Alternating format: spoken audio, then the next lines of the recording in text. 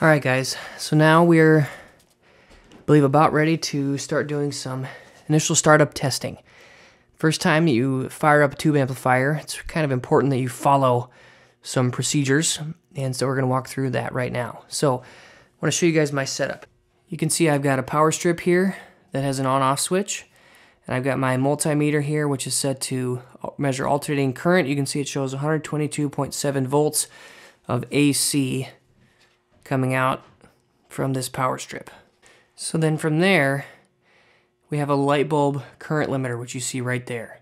The power cord from the light bulb current limiter is right here. That goes in to our power strip. Then over here, we've got the power cord that goes into the amplifier.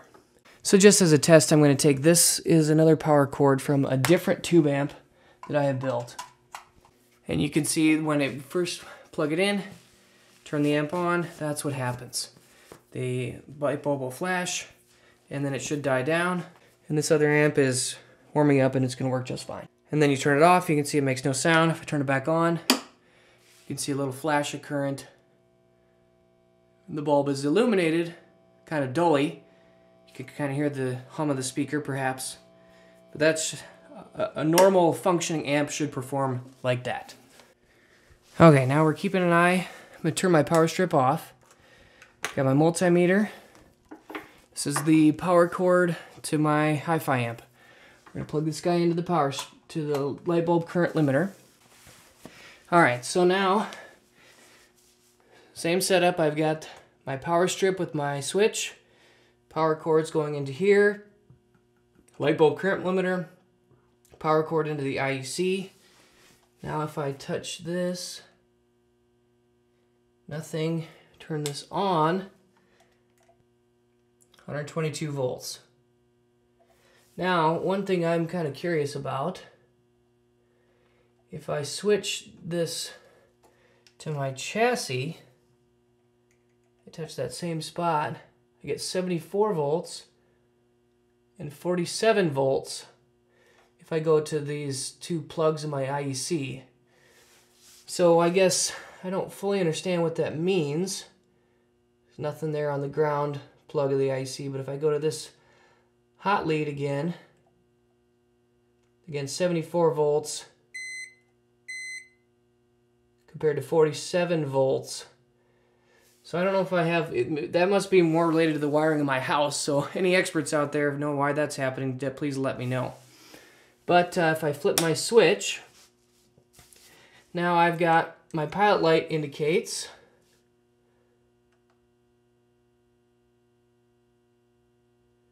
I'm only getting about 10 volts. It's 400 millivolts. it does not appear that I'm getting proper voltage output from my output transformer.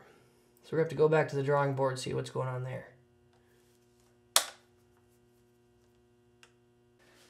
Okay guys, so at this point, I have rewired my pilot light. Something about the way this 120 LED pilot light is wired, I'm not exactly sure, but basically now I've got it in parallel. So the 120 volts comes to here through the fuse.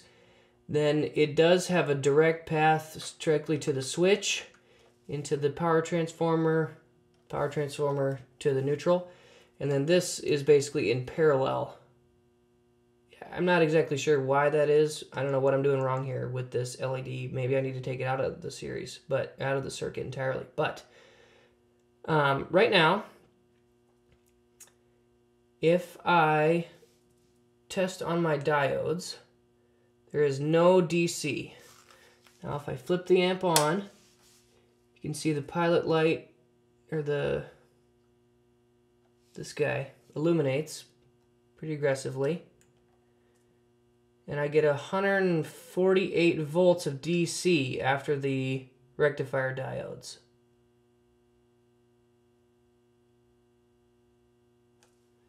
See if we can track that. 143, 143, 141, 140, So that's all along my B plus step down. If I test my filter caps, 139, 138, 137, that's good. I think. Now if we go to the plate of my 12AX7 tube, or not 12, my 12AX7, 135 volts DC on the plate. My preamp tube.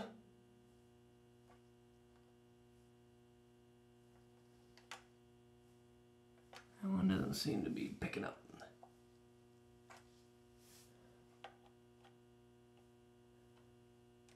Hmm.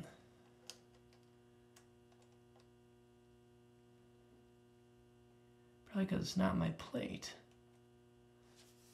This one is.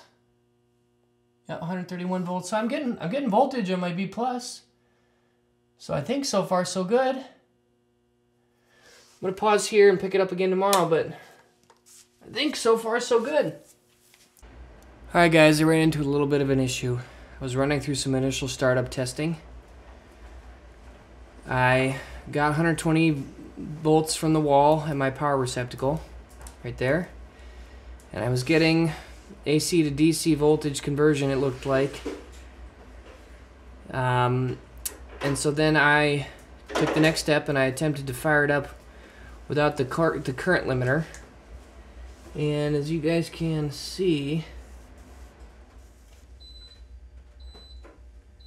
some right in here, there's some burn marks there. Something's sparked up. I believe it's this line here from this yellow 6.3 volts going over here to pin 2. And pin 2 also has the rectified DC going this way to pin 8 and then going this way to this other yellow mark and then on down the line. So I'm not exactly sure if it's that interchange because actually these yellow wires are sending 5 volts of AC to the heaters but I'm not actually using that so I've just discharged my caps so I'm good to go. There's my discharge tool.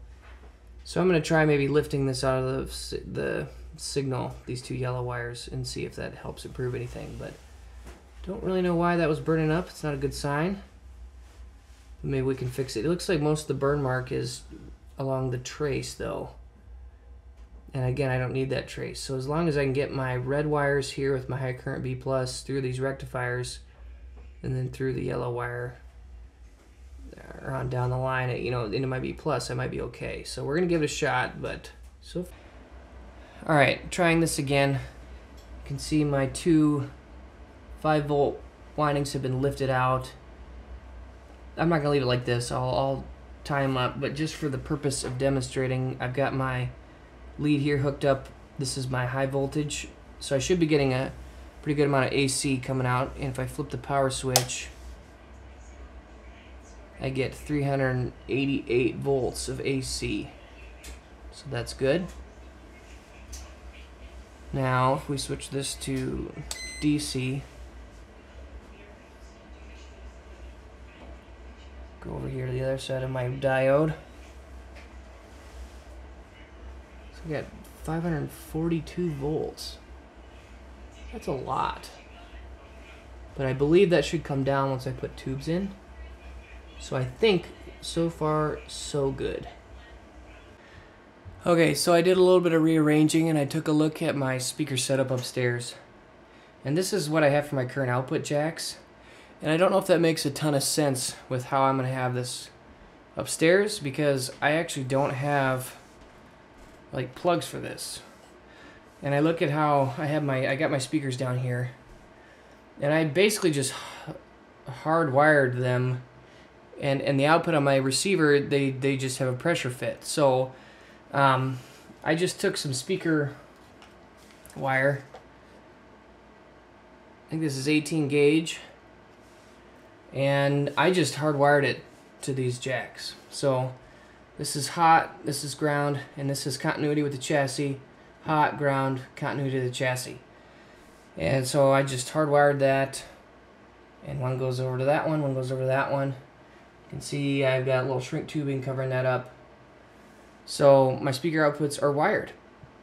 Then I've got quarter inch in, And honestly, I think we're maybe ready to test it out with some tubes.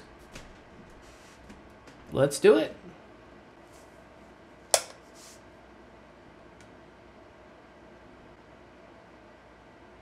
So far, so good. Just a little bit of a...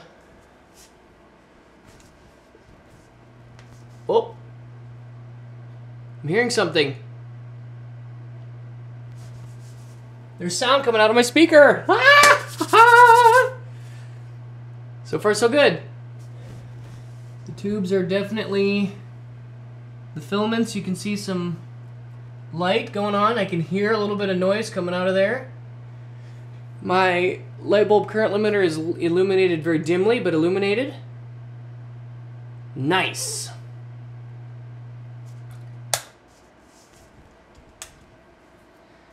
Okay. I think what I want to do now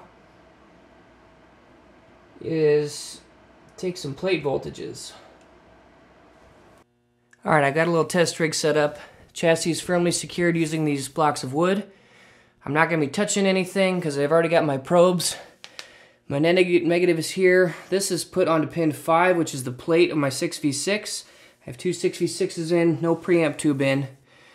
We're to turn it on and see what kind of DC voltage you're getting on the plate. Light bulb current limiter is in line as well.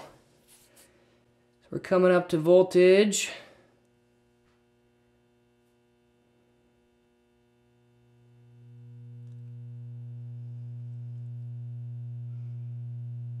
Hearing a little bit of a buzz or hum from the speaker. My DC voltage reading is all right, clipping this to the chassis.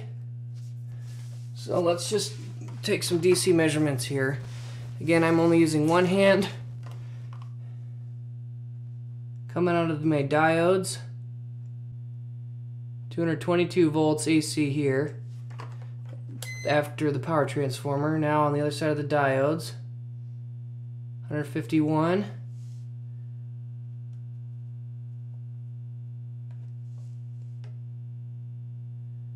Think this is my plate. It's jumping around again. I'm not sure what's going on there.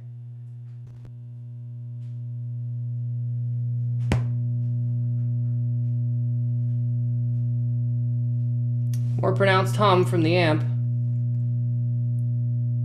437 volts DC from the rectifier. 429 volts on my screen grid. There's my plate. 425. I'm sorry, I was going I was going to the wrong pin. I was going to pin 5, not pin 3. I think pin 5 is my input grid.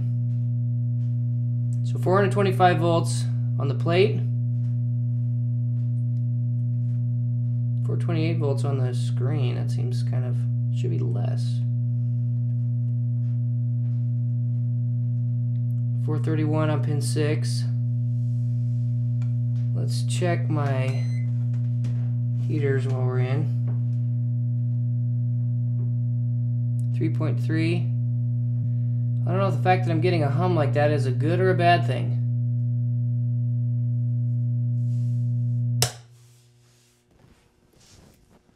I guess we'll try a preamp tube. Alright, I got various preamp tubes here. 12AU7, 12AT7, 12AX7. We're to give them a shot. Some of these are kind of old, vintage. We'll start with this RCA 12AU7. Well, we're just gonna try this. I got a guitar, quarter inch cable.